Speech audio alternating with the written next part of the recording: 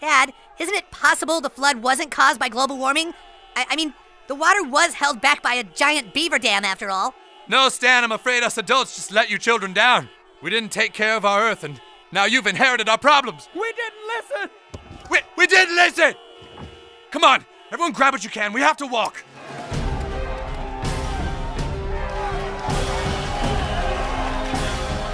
Oh, Jesus! Here it comes! Global warming!